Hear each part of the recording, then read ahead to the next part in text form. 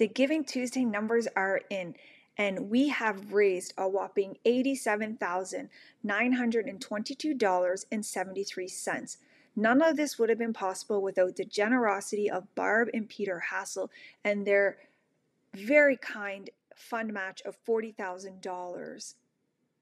This achievement is a testament to our collective efforts and the fantastic things we can accomplish when working together towards a common goal. Happy holidays from MJKO, and thank you so much for the continued support. Thank you.